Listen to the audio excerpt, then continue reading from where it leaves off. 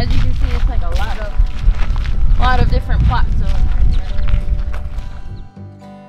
Gardening has always given me a very similar, if not more, of a sense of control over my situation in my life. The, the same way that martial arts has always kind of fulfilled that sense of control and like, uh, I guess, happiness in my life. They almost look like green. It gives me something to look forward to. It gives me something to feel good about. And on top of that, you know, just being in the community and and um, you know talking with neighbors and things like that you know it's always it's a huge blessing for me it's kind of weird i don't know why sometimes they turn purple like that but sometimes it, it, can be a little challenging obviously you know like balancing the training and stuff like that so you know maybe i miss a water here and there but uh, I mean, that's just with anything, you know, there, you, you got to balance and prioritize things. But um, gosh, when I, when I do go there, I'm, I'm always happy that I do. And even if like, you know, the, the getting up for it might, might suck every once in a while, but once I'm there, it's, um, my soul is fulfilled.